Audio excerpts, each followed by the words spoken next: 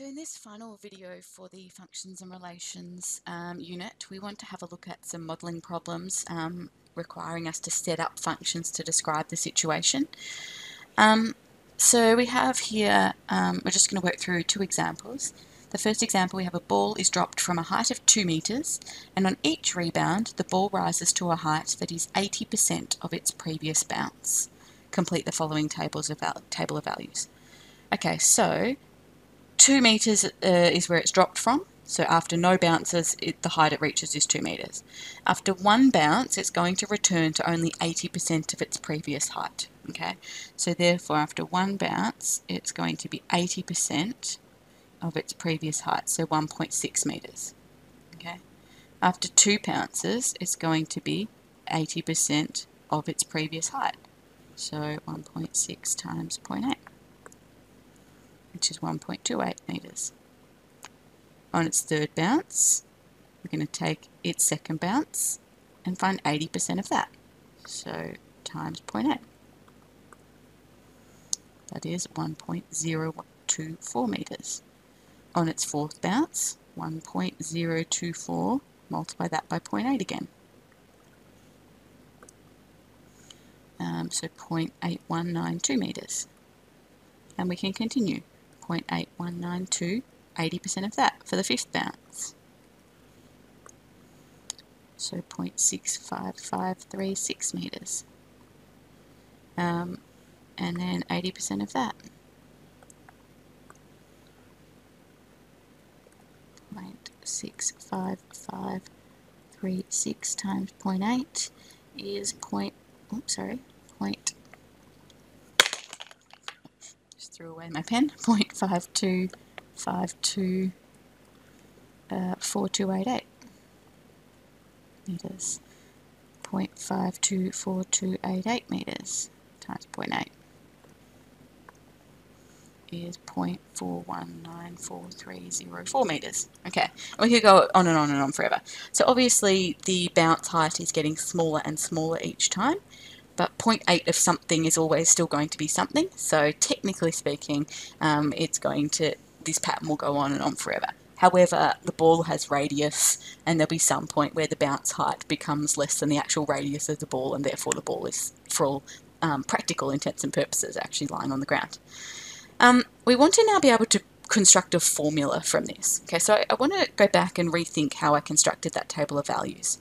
So rather than thinking about the third bounce as being the second bounce times by 0.8, let's think about by the third bounce, so we're going to we're, we're timesing by 0.8 and then we're timesing by 0.8 again. So the third bounce is actually two lots of, uh, sorry, 2 times 0.8 times 0.8, which means it is 2 times 0.8 squared.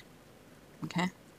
The third bounce Similarly, well, if, we if we think how, how does it change from the original bounce height of 2 metres, started with 2 metres, and we then times by 0.8 to get the first bounce height, 0.8 again to get the second bounce height, and 0.8 again to get the third bounce height.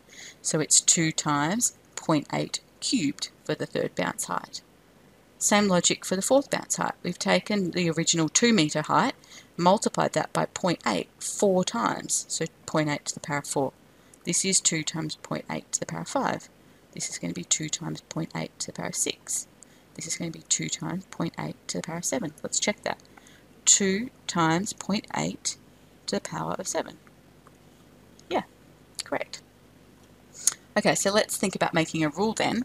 So um, the height is going to be 2 meters multiplied by 0.8 to the power of n, which is the number of bounces and we might write it in function notation. So h of n, the height after n bounces, is 2 times 0.8 to the power of n. Use your CAS to help you graph the function, stating its domain and range. Okay, so let's have a look then. So if I want to graph with my CAS, I need to use x rather than n, so 2 times 0.8 to the power of x. Okay, and that's sort of matching what we saw in our points. It's just, we don't really need so much down there, nor back there really.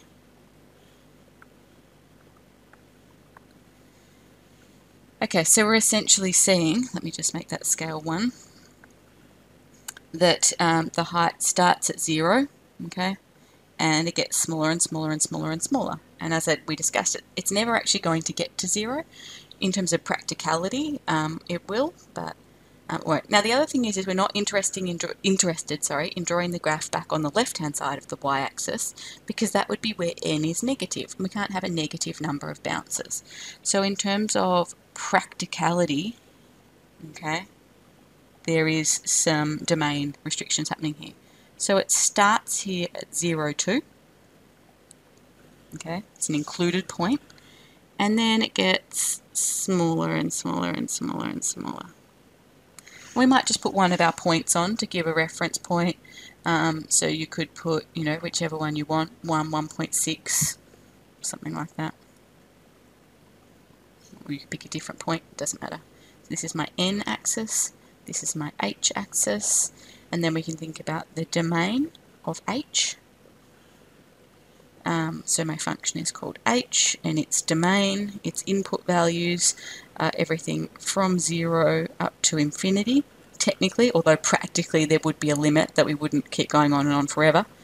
Um, but we don't have the information to know that here. The range of function h um, goes from now, it goes from 0, doesn't include 0 though, because actually what's happening with this graph shape is we have an asymptote happening at 0. This is an exponential graph, and we'll talk about this in our next topic. Um, so it goes from 0 up to 2 and includes 2.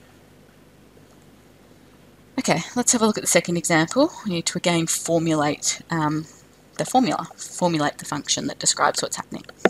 Small packets of biscuits with a mass of 11 grams are sold in bulk packets through a warehouse. The bulk packets contain between 12 and 18 of the smaller packets. If W grams is the mass of the bulk packet containing S smaller packets, and the mass of the bulk packaging is 4 grams, construct a function for the total mass of the bulk packet. State the domain and range of the function and illustrate this function on a graph. Okay, so we want to describe W in terms of S. So our function is going to be W of S, okay, the weight or the mass of a bulk packet in terms of the number of small packets that it contains, okay.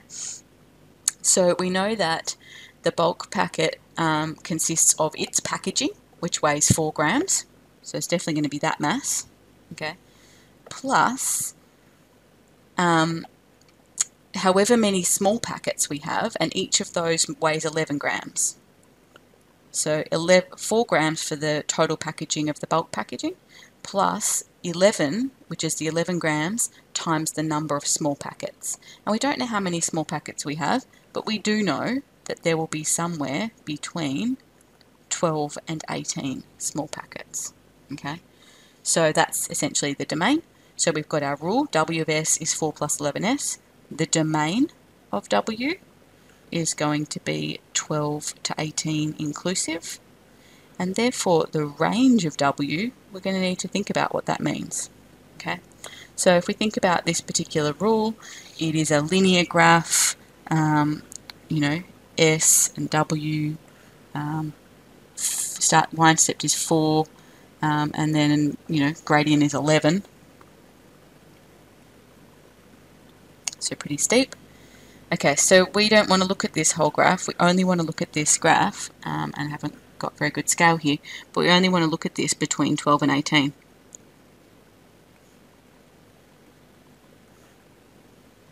And so therefore, the range is going to be about thinking about when S equals 12, what does W equal? Okay, so um, W of 12 is 4 plus 11 times 12. So um, 4 plus should be 132. So that'll be 136, yep. And W of 18 is 4 plus 11 times 18. So 4 plus 11, sorry, 4 plus 11 times 18 is 202.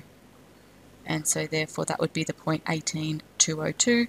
This would be the point 12136 and so therefore that tells us about the, sorry that shouldn't be in brackets, the range, range of W is going to be from 136 up to 202 inclusive. Now, the other thing to be mindful of is that technically the domain isn't everything between 12 and 18. It's only actually going to be integer values between 12 and 18. Um, but for all intents and purposes here, we can describe the function this way and know that we are only interested in s being equal to integer values. Okay, so the work today is from exercise 4e, all of those, so looking at formulating um, functions to describe or to model situations.